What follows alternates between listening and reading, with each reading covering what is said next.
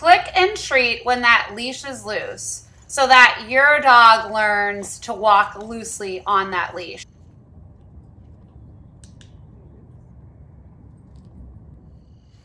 When your dog pulls back up, then click and treat when they look at you and click and treat while they remain by your side.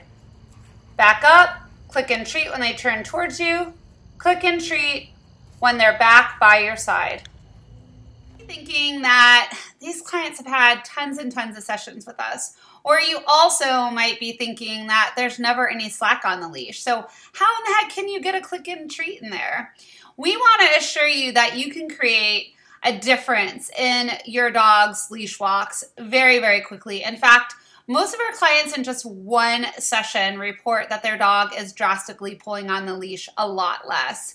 And the reason for that is is because they learn the tools. So we want to empower you to learn those same tools so that you can start enjoying those leash walks again, especially in this wonderful weather.